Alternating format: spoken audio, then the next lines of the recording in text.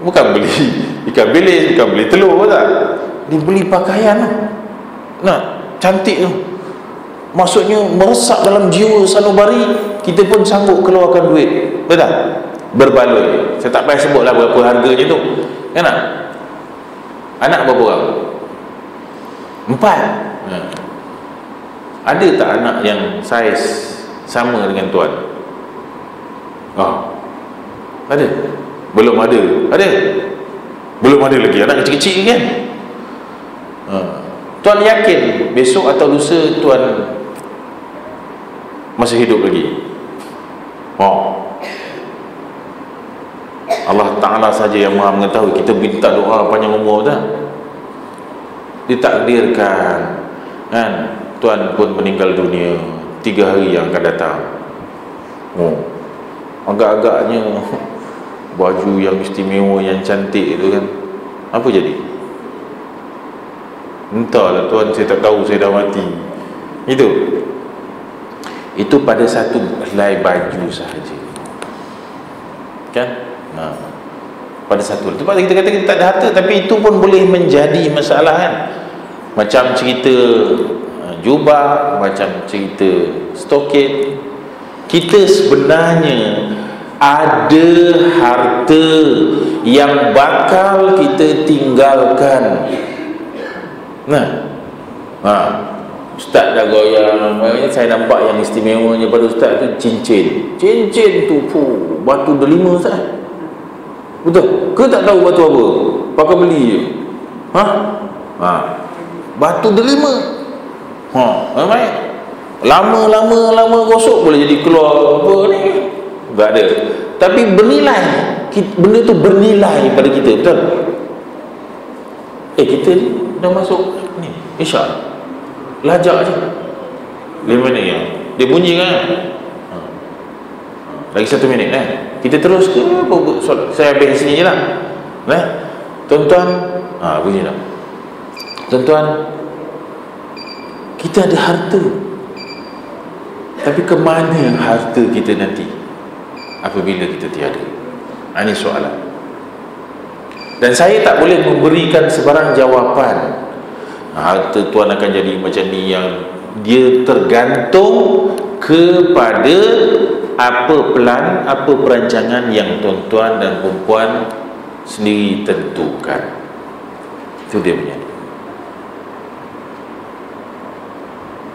jadi boleh dah agak-agak harta apa dia harta yang kita tinggalkan tanpa sebarang plan apa semua tu akan menjadi harta pusaka. Betul? saya dengar pusaka betul? memang betul lah. Tapi tuan-tuan tu sebab kata kalau ada pen haji, haji ada pen. Tulis perkataan pusaka dalam bahasa Malaysia. P-U-S-A-K-A tulis je, tulis je. Tulis, jangan tak tulis, dah tulis belum? dah cuba haji padamkan huruf S. Cuba padam oh. dapat je.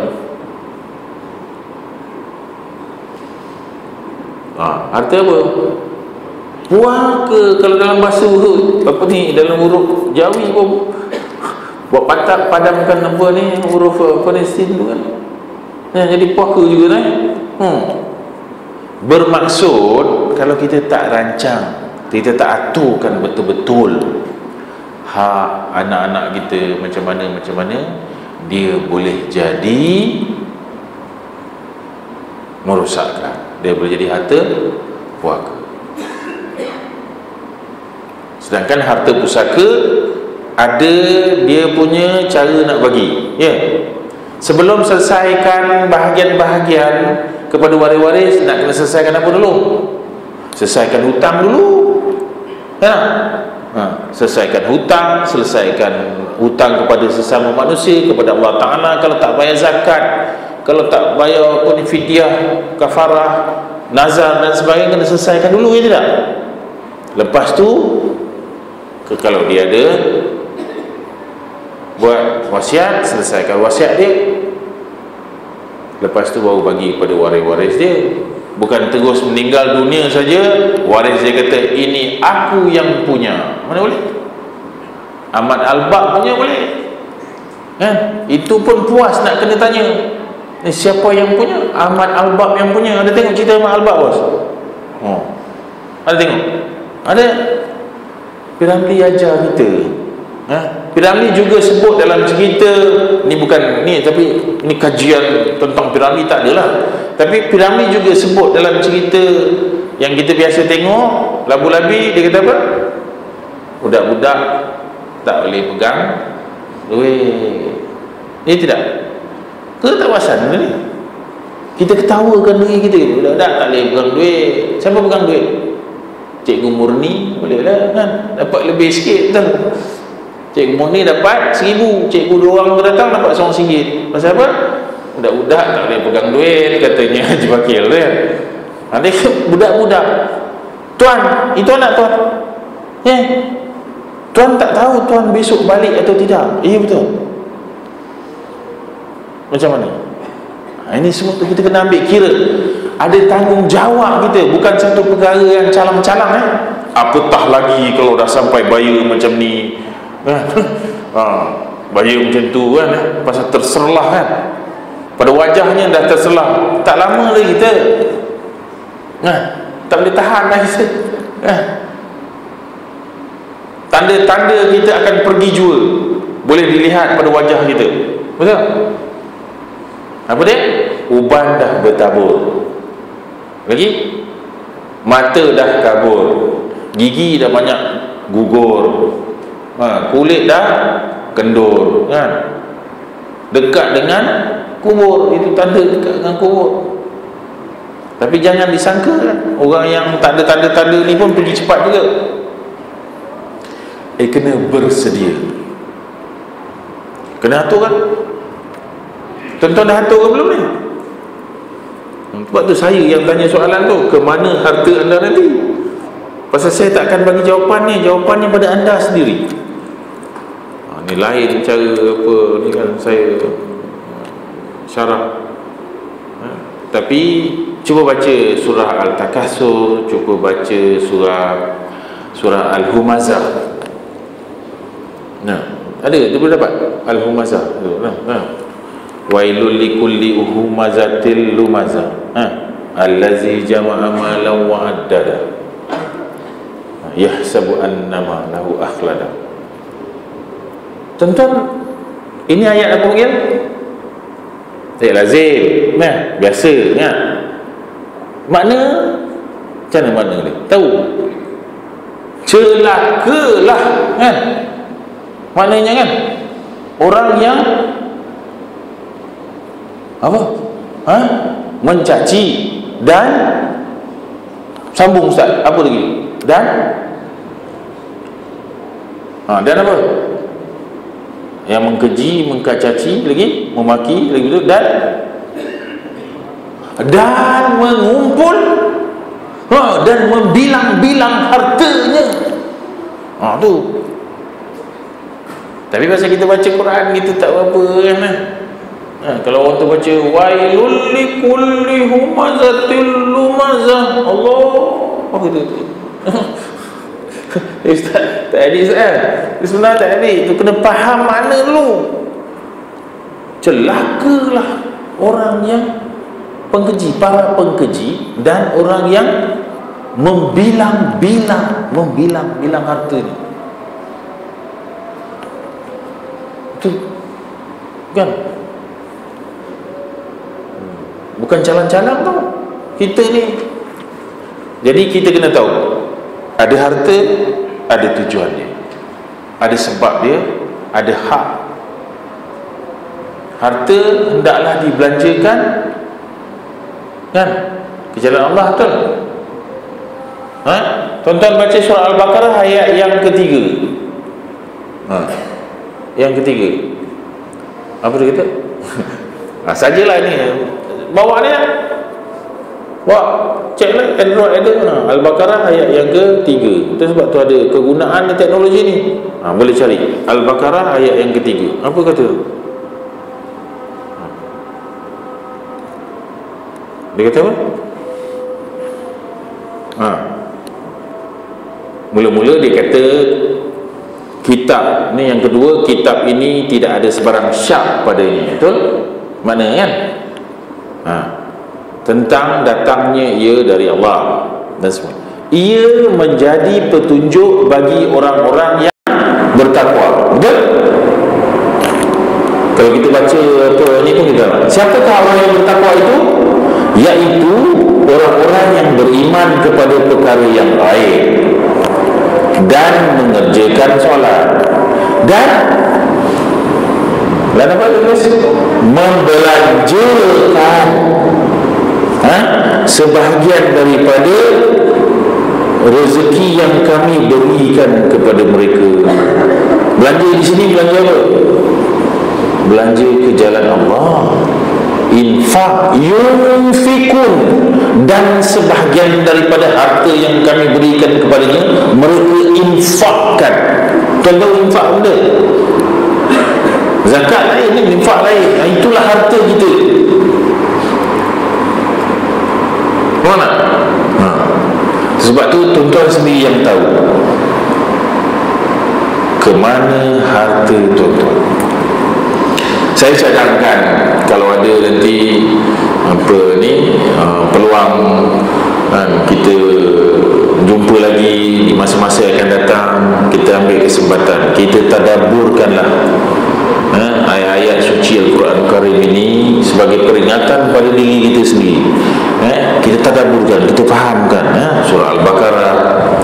Nah, ayat yang pertama itu surah Al-Baqarah ayat yang 148 misalnya.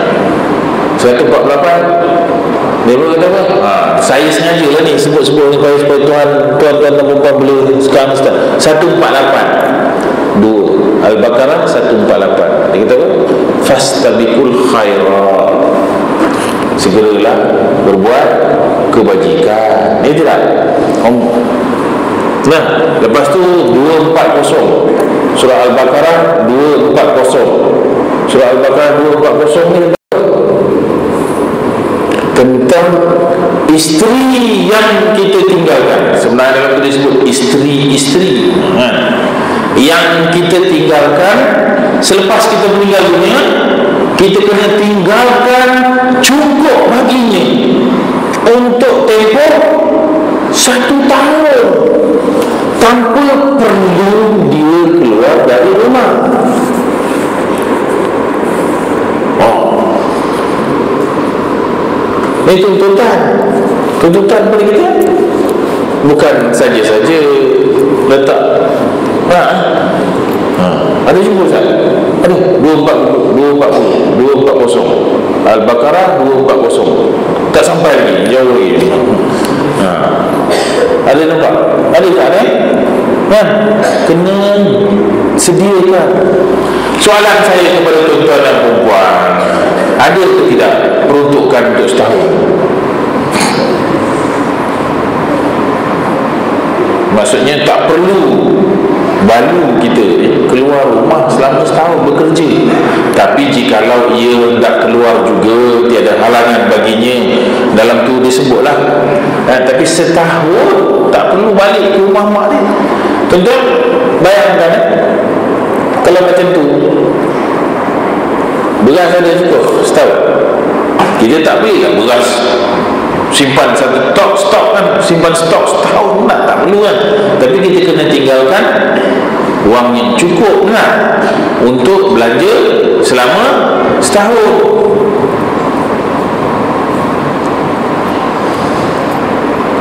Kalau kita tak tinggalkan macam tu alangkah kesiannya. Nah. Ha, alangkah malangnya bagi keluarga yang ditinggalkan itu. Tuan-tuan patah balik pada diri tuan-tuan juga. Ha, sudah sediakan ke tidak kemudian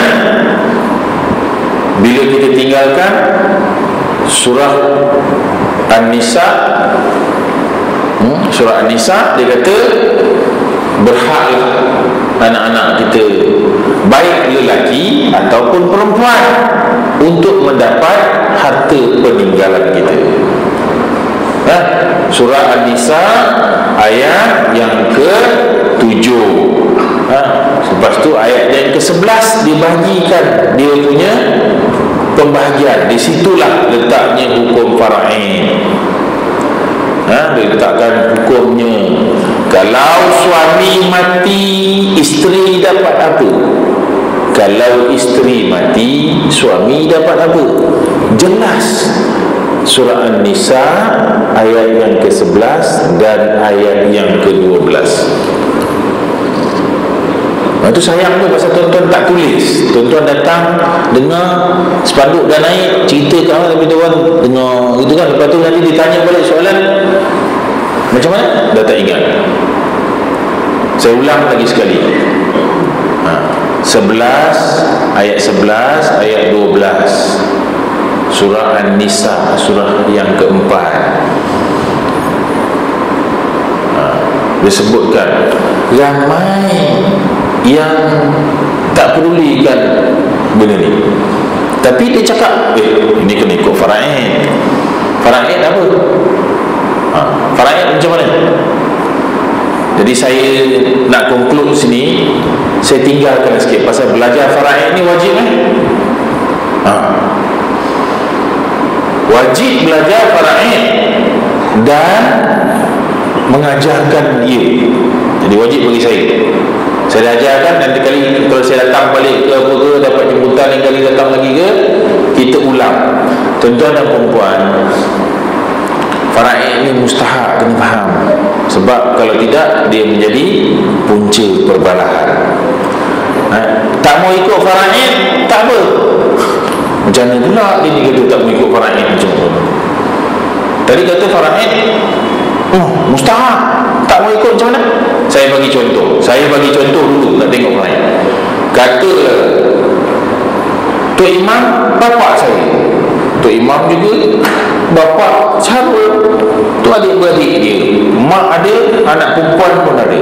Tok Imam meninggal dunia. Sengaja tengok dia dah kelain itu kan? Ha, Tok Imam meninggal dunia. Saya dan Syarul adik-beradik kalau mak dapat berapa? Kalau kami adik-beradik dapat berapa? Adik-beradik dia dapat ke tidak? Ini semua nak kena faham. Namun kami anak lelaki kata kami tak mau benda ni kami serahkan semua kepada mak. Boleh tak? boleh kan? boleh atau tidak? boleh. Jadi faraid tidak diikuti jikalau waris-waris bersetuju ha? ha, itu dia takharus keluar dari keluar dari. Tak di sini tak tulis keluar kan ha, tapi keluar tu dalam bahasa Arabnya apa? Kharaja ha? ha, jadi takharus keluar dari perang tak ada masalah kalau setuju. Tapi kalau tak setuju. Ha, bila tak setuju faraidlah menjadi pegangannya penyelesaiannya. Gitu. Jadi tuan-tuan tahu tak faraid macam mana? Tuan-tuan ingat ni. Eh?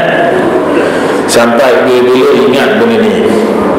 Apabila seseorang meninggal dunia ini batang tubuh yang meninggal dunia ni yang meninggal dunia warisnya yang berhak yang tadi yang dekat yang tak perlu ambil orang lainnya ada lima. Boleh tuan-tuan cuba buka tangan masing-masing kita tengok sekarang kita tengok ada tidak? Bukan tidak kan kena ha, boleh? Boleh tengok tangan masing-masing. Ke ada orang tak cukup jari? Terlebih jari tak bayar semua ada lima ni jangan segar ini kita kena exercise sampai boleh-boleh ingat ok boleh? Exercise sikit. Boleh exercise sekarang tengok. Yang berhak yang berhak ibu dia. Ibu dia berhak ok macam mana nak ingat ibu jari. Ha. si mati meninggal dunia ni ini si mati yang berhak mak dia. Ibu jari. Boleh? Yang berikutnya ayah dia.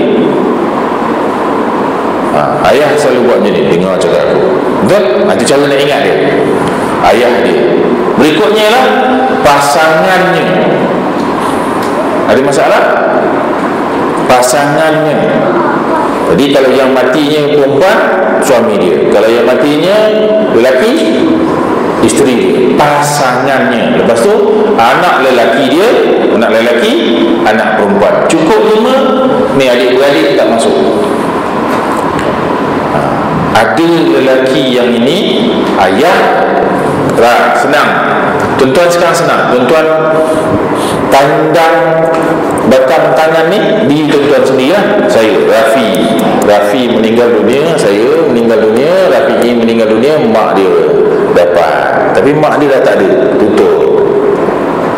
Ayah dia dapat tapi ayah dia dah tak ada.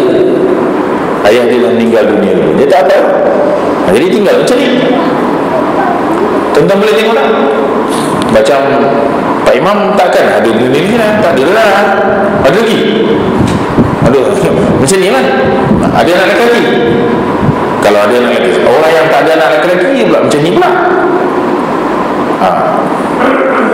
jadi bila tak ada lelaki eh, sepatutnya lelaki-lelaki kan ni yang ayahnya dan anak lelakinya. Kerana tak ada lelaki maka itu yang baru datang adik-beradik maka itu yang datang datuk maka itu yang akan datang sepupu sepapat dan sebagainya. Sebab nak kena penuhkan. Ni ruang yang gungar itu namanya asobah Coba ni? Saya berhenti dengan meninggalkan tuan-tuan dan perempuan mengira sendiri. Tengok siapa yang ada. Saya nak berhenti tadi eh, kan kita apa lambat Tuan-tuan Nampak ni? Lima tadi Mak dapat Satu per enam Nah ha.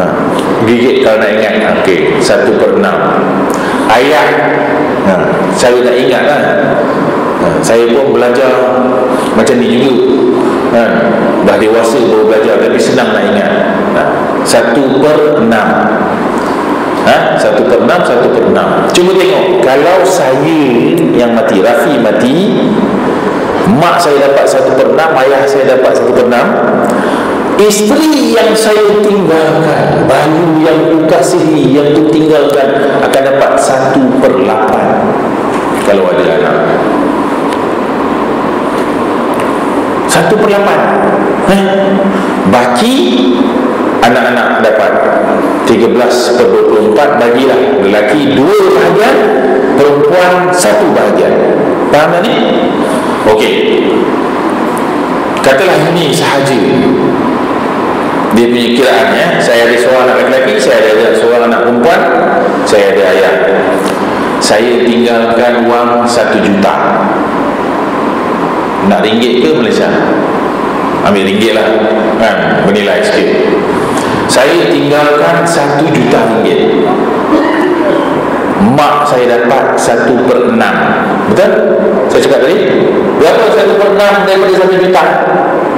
Hmm, nah itu pasal dia lambat. Nah malam-malam matematik tak clear Ustaz. Seratus enam puluh enam ribu.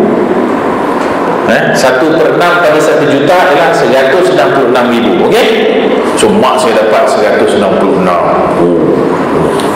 Bapak saya akan dapat 166 ribu juga Wah eh.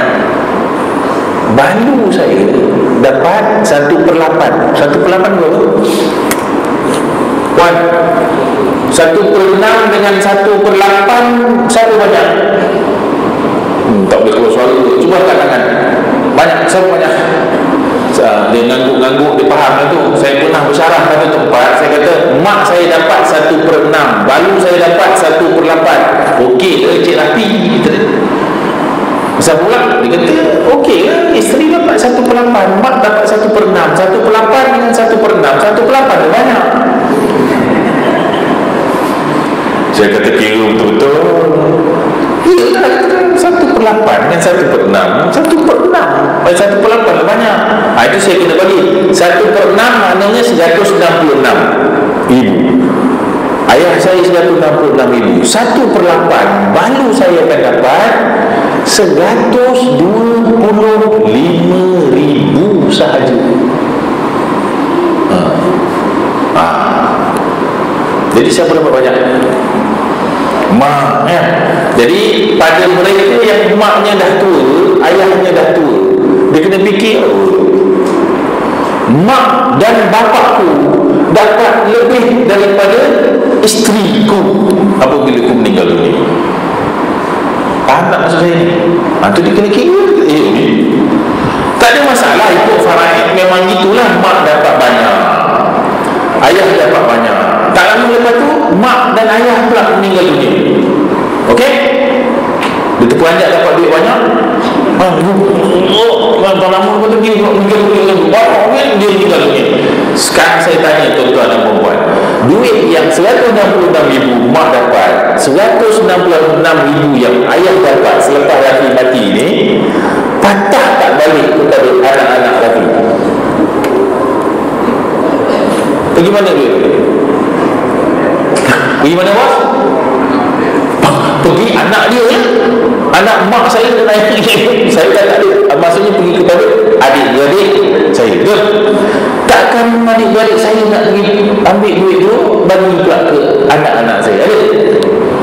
Ada. Dia kata parahin aku? Oh aku bahagian aku sekarang. Saya nak tunjukkan kepada tuan-tuan inilah realiti yang berlaku. Tak ada masalah kalau ikut faraid tak ada masalah mak saya